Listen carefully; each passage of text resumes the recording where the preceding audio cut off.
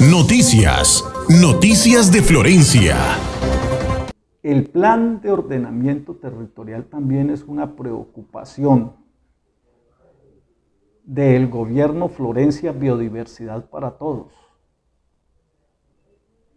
El año pasado instalamos el Consejo Territorial de Planeación y este año comenzamos a trabajar en las estrategias para socializar el estudio del plan de ordenamiento territorial. Ustedes recordarán que llevamos 21 años que no actualizamos el plan de ordenamiento territorial y que las administraciones anteriores han hecho esfuerzos y han hecho estudios.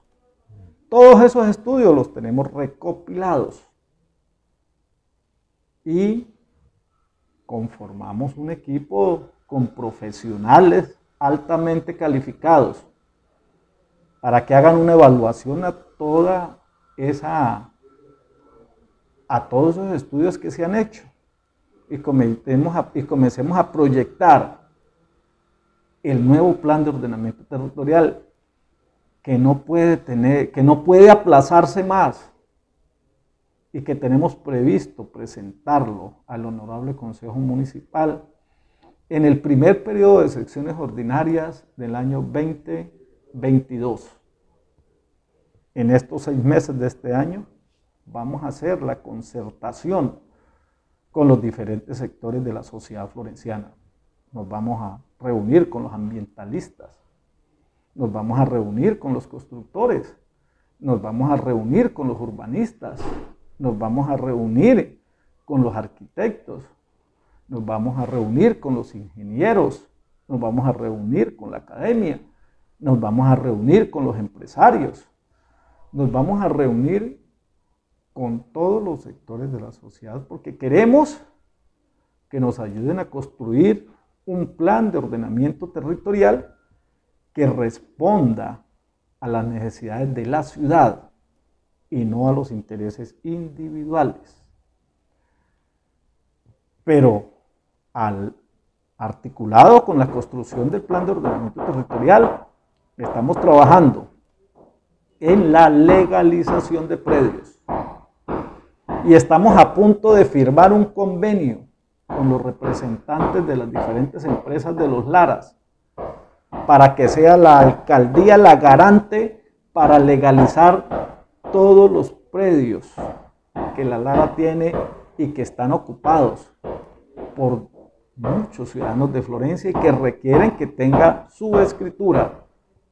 Ya hemos hecho varias reuniones con los representantes de las dos compañías de, los Laras.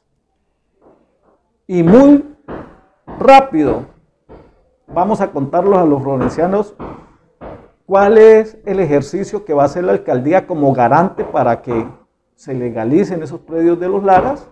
¿Y cuáles son las obligaciones de los Laras con la alcaldía y con los ciudadanos? No queremos que al nombre de los Laras o de las invasiones algunas personas sigan, sigan cobrándole a la gente.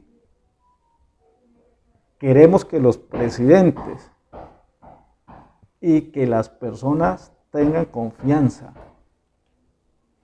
Que esas compañías de los Laras han hecho varios estudios y ya tienen una caracterización de todos sus terrenos.